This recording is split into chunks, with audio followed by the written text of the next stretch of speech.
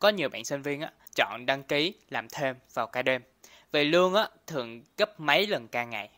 Mình không khuyến khích điều đó. Tiền á, bạn kiếm lúc nào mà không được. Mượn câu đó của mẹ mình đi ha. Thì khi mà bạn tốt nghiệp rồi á, thì bạn tha hộ kiếm tiền lúc đó bạn kiếm tới bạn ngán luôn. Quan trọng nhất vẫn là sức khỏe của bạn. Làm gì cũng phải đảm bảo đủ lượng giấc ngủ của bạn cái đã.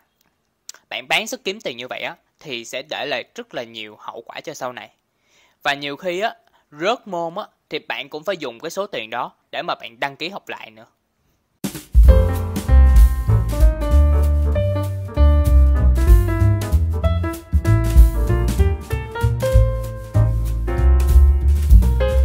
Chào mừng mọi người đã cùng đến với kênh Ký Kỳ Cục của mình.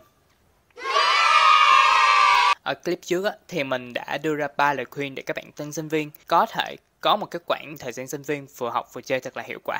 Ở clip này thì mình sẽ tiếp tục đưa ra thêm những cái lời khuyên khác cũng như là hướng hành động nha. Trước khi đi tiếp với video của mình á, thì nếu mà các bạn cảm thấy thích thì cứ đăng ký kênh cũng như là để lại comment phía bên dưới để mà thuật toán của YouTube có thể gửi đến cho bạn những cái thông báo mỗi khi mình ra video mới nhất nha. Lời khuyên thứ tư, bồ, có hay không, không quan trọng. Ai nói với mọi người á là lên đại học nhất định phải có bộ. Ai nói với mọi người á là ăn kem chuối trong trường quân sự, học quân sự là nhất định sẽ có bộ. Mình là trường hợp ngoại lệ nha mọi người. Ế suốt 4 năm học đại học luôn. um, lúc mới vào trường á thì mình cũng nghe được những cái lời đó cũng mang cái tâm trạng rất là hồ hởi hớn hở nha.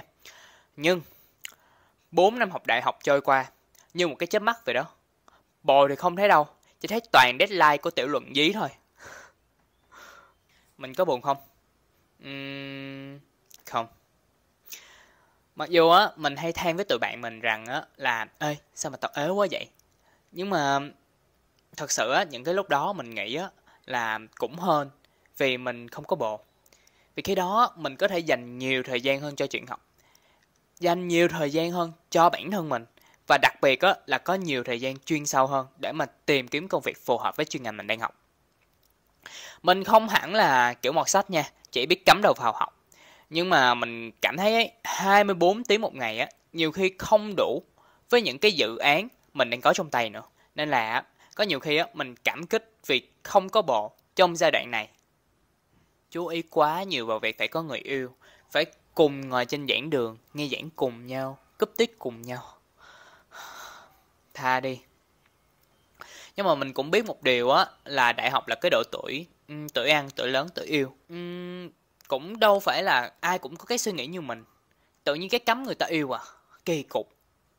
Duyên tới á thì làm sao mà cản được, phải không? Chỉ mong á là quãng thời gian học đại học của bạn gặp được một người có thể là chủ dự tinh thần cho bạn, cùng bạn tiến lên, chứ cả hai đừng nắm tay nhau dìu nhau đi xuống nha.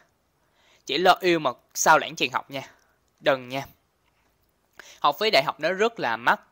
Đặc biệt là những cái đại học tư. Bạn phải biết suy nghĩ cho ba mẹ của bạn một xíu. Đóng học phí cho bạn á, không có dễ đâu.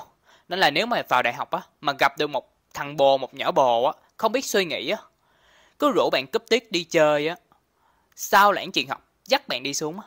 Thì thôi, chia tay đi. Ừ, tôi kêu như vậy luôn đó. Lời khuyên thứ năm tin học nó rất là quan trọng. Bạn có thể không có người yêu, nhưng bạn nhất định phải có bằng tin học. Ừ, tin học nó rất là quan trọng mọi người ơi. Ừ, sau này á, hầu như tất cả công việc bạn apply vào với tấm bằng đại học á, đều liên quan tới tin học. Tin học học càng sớm càng tốt. Chắc hẳn á, khi đã là sinh viên rồi á, thì các bạn đều biết một trong những cái tiêu chí có thể xét tốt nghiệp á, đó là phải có tấm bằng MOS, Microsoft Office Specialist, chứng chỉ tin học văn phòng quốc tế. Thế thì điều đó liên quan gì tới tân sinh viên tụi tôi? Tôi mới vào trường phải cho tụi tôi relax một xíu chứ. thì thời đó mình cũng có cái suy nghĩ đó đó. Mình cứ nghĩ là gần ra trường mới là vụ MOS vì cứ tưởng là cái bằng MOS nó chỉ có hiệu lực trong vòng 2 năm. Và đã có một người bạn nói với mình điều đó. Nhưng mà thực ra không phải vậy. Bằng MOS nó không có ghi thời hạn hết hiệu lực. Tức là bạn học càng sớm, bạn càng có lợi. Và để đến khi ra trường thì sẽ có hàng tỷ tỷ thứ khác cần phải lo. Ừ. Mang theo cái suy nghĩ là gần ra trường mới học Moss á, nó là một thiệt thòi lớn cho mình. Thiệt thòi như thế nào á thì để mình kể cho mọi người nghe. Uhm, khi mình mới apply vào một cái job thực tập sinh cho chuyên ngành hiện tại của mình á thì um, vì mình muốn ra trường á là sẽ có việc làm luôn CV sẽ có phần đẹp hơn và chỗ thực tập á, thì cũng do mình tự kiếm khi mới test năng lực á, thì mình được nhận ngày đầu tiên thử việc á, thì mình nhận ra Tin học nó quan trọng đến nhiều nào. Cách chỉnh layout nè, cách thống nhất bố cục nè, cách thống nhất numbering nè pullet nè, cách repeat table cho những trang sau nè, tất cả tất cả những cái thao tác đó. Mình đều tốn rất là nhiều thời gian để lần mò. Thú thật, ngày đầu tiên đi làm mình đã rất là stress. Hơn á, là mình có một người bạn bạn ấy rất là giỏi tin học và bạn ấy đang làm online ở nhà. Thì mình liền cấp tốc chạy qua nhà bạn ấy nhờ sự giúp đỡ của bạn ấy. Cũng hơn là được giúp, chứ nếu không á thì chắc chắn là mình tèo ngay từ ngày đầu đi làm luôn rồi đó. Giờ do nhu cầu của công việc á nên mình đành phải học tin học cấp tốc trên mạng. Cũng khá là kích thích nhưng mà nếu mà được chọn lại á thì mình chắc chắn sẽ tranh thủ học MOS trước. Ừ. một câu nói của bạn đó ai vẫn tin học hơn á, thì mai mốt ra ngoài kiếm việc á, sẽ có lợi thế hơn. Lời khuyên thứ sáu ấy đó là tập cho mình một cái lối sống kỷ luật lành mạnh. Ừ um, thời sinh viên ấy thì sẽ khác rất là xa so với khi bạn còn là học sinh.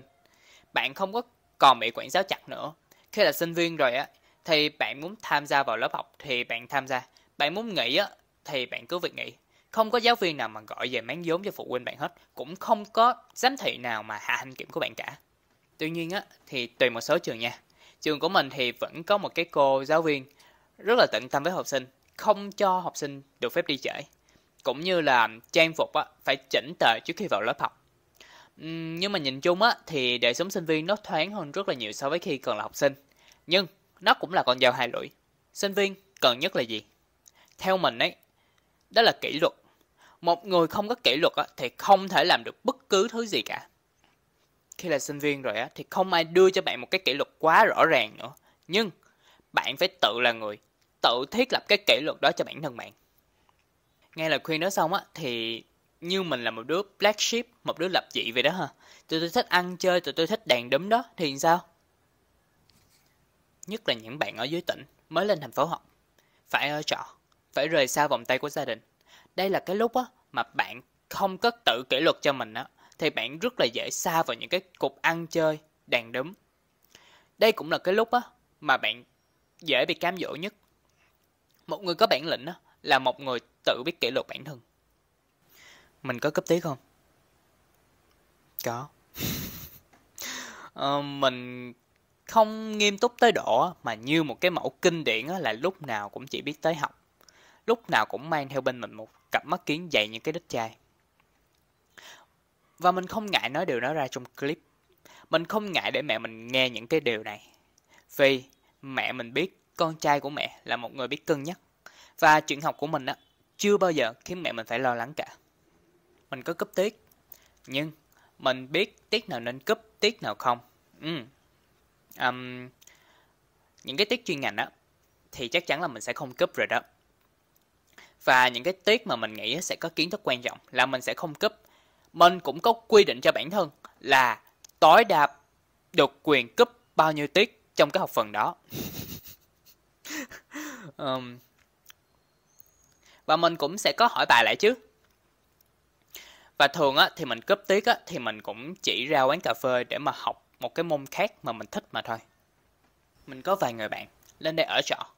Thì um, mình cảm thấy á là giờ giấc sinh hoạt của họ đảo lộn lên cả. Họ sẵn sàng đi chơi tới tận khuya hai ba giờ vẫn long nhong ngoài đường với bịch bánh tráng trộn. Tới nỗi á mà sáng hôm sau còn khoe với mình á là do bịch bánh tráng trộn đó mà họ đau bụng. Họ nói với mình á như vậy á thì đời sống sinh viên mới thú vị. Nhưng nó chắc chắn sẽ để lại hậu quả dài hạn nếu mà họ cứ tiếp tục cái lối sống đó. Giấc ngủ mà họ mất đi á không thể nào có thể có cái khái niệm ngủ bù được. Mà cái vấn đề đó mình đã đề cập đến ở clip khác. Nếu mà các bạn quan tâm á thì có thể click vào đường link phía bên trên nha. Tiện thể nói tới đây á, thì mình sẽ đề cập luôn. Có nhiều bạn sinh viên á, chọn đăng ký làm thêm vào ca đêm. Về lương á, thường gấp mấy lần ca ngày mình không khuyến khích điều đó. Tiền á, bạn kiếm lúc nào mà không được. Khi mà mượn câu đó của mẹ mình đi ha thì khi mà bạn tốt nghiệp rồi á thì bạn tha hồ kiếm tiền lúc đó bạn kiếm tới bạn ngán luôn. Quan trọng nhất vẫn là sức khỏe của bạn.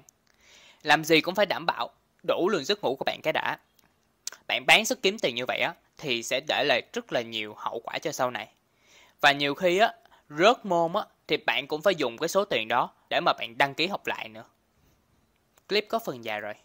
Mình cũng nghĩ là đủ những gì mà mình muốn truyền tải với mọi người trong clip này rồi. Mình xin phép kết clip ở đây nha. Mong rằng á, các bạn sẽ thích chiếc clip này của mình và nếu mà thích á, thì hãy share những chiếc clip này để mình có cơ hội tiếp cận và thấu hiểu được nhiều bạn hơn nha. IG của mình là Kanchiki và mình vẫn luôn cập nhật cuộc sống của thường nhật của mình trên đó. Bạn cũng có thể comment trực tiếp phía bên dưới về cảm nhận của bạn sau khi xem hết clip của mình cũng như là chủ đề mà bạn muốn mình thực hiện mình sẽ note lại và mình rất rất là trân trọng luôn. Cuối cùng, lịch ra video của mình là vào mỗi thứ ba hàng tuần, 19 giờ tối thứ ba. Cảm ơn mọi người đã luôn quan tâm và xem hết video của mình. Còn bây giờ thì chào tạm biệt và hẹn gặp lại. Khoan, từ từ, đừng vội nha. Những chiếc video tiếp theo đây hoàn toàn là dành cho bạn đó.